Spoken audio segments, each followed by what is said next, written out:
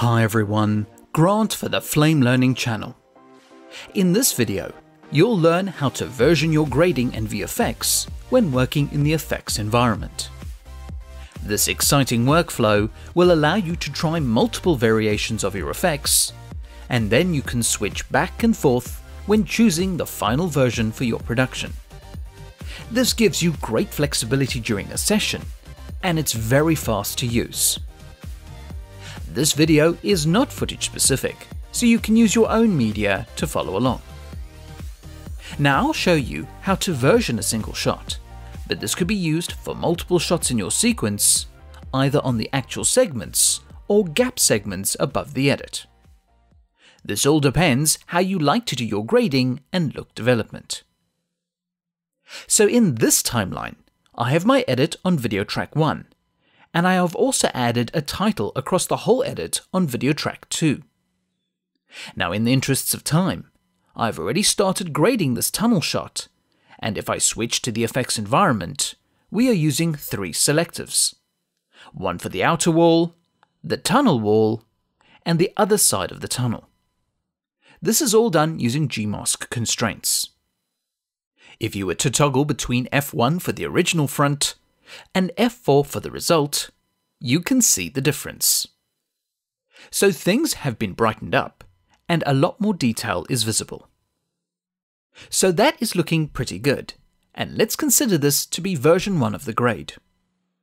Now you can save this as an effects clip preset in the Media Hub, and we looked at this in a previous video.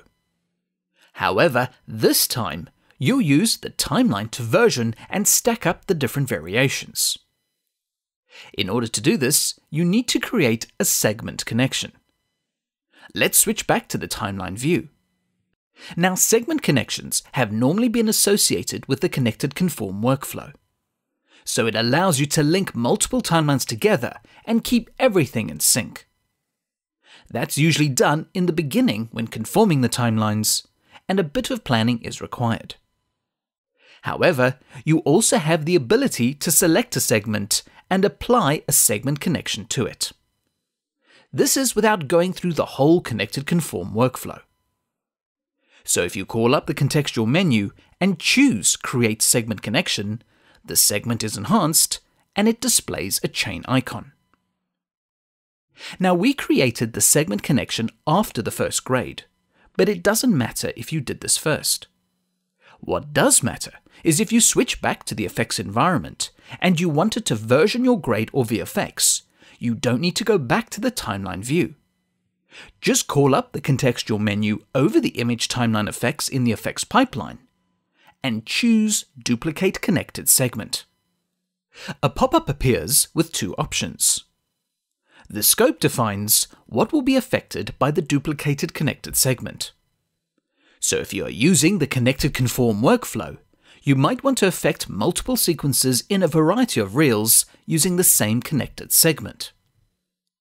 However, if you're only working in a single sequence like this one, just choose to affect the current sequence. The second option is whether you duplicate the segment or simply overwrite it. You'll duplicate it in this case. Click Apply. Now the segment is duplicated with the image timeline effects, and note that the storyboard reel has changed. The reason for this is if you switch back to the timeline view, there is now a duplicated segment that sits above the original one. So the storyboard reel changed because it shifted its focus to video track 2. Now as you duplicate connected segments, either in the timeline view or in the effects environment, the duplicated segment will always be placed on the next available video track. If one is not available, or something is above the original segment, like the title for instance, Flame will insert a new video track to keep everything consistent, and the duplicated segment will be placed there. Now switch back to the effects environment, and let's grade the shot differently. Select the first selective and decrease the saturation select the third selective and do the same. Finally, on the second selective, we'll drop the gamma to darken the tunnel. So that's a distinctly different look to the first version. To toggle between the version on track 1 and track 2, you can either click the pull down menu and toggle the different tracks, or you can press the page up and page down keyboard shortcuts. This is the same as moving the focus point up and down on the positioner.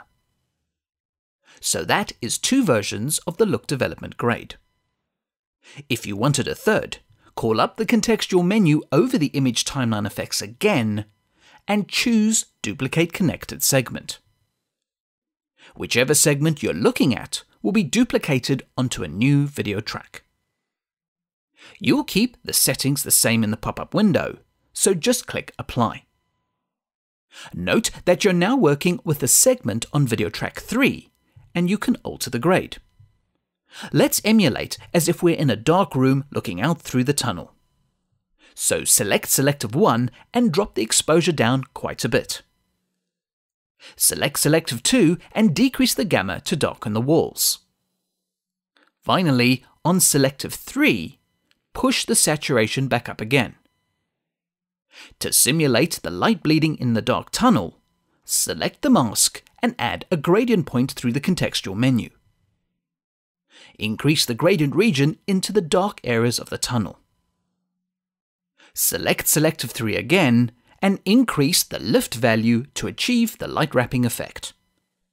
So that's the third version of the shot, and you can toggle the pull down menu or use the page up and page down keyboard shortcuts.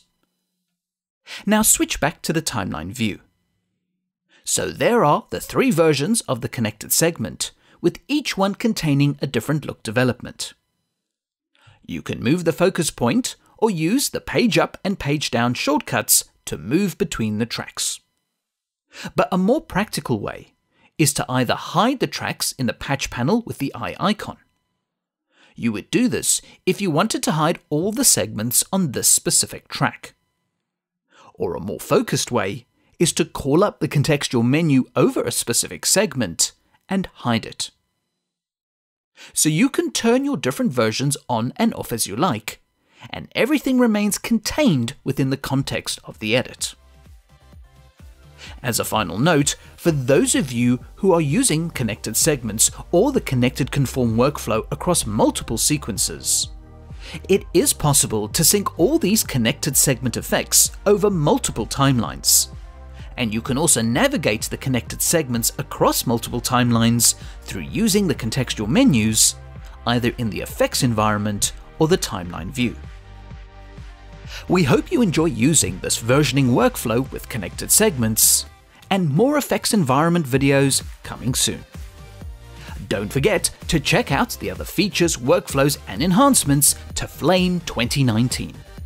Comments, feedback, and suggestions are always welcome and appreciated. Please subscribe to the Flame Learning channel for future videos, and thanks for watching.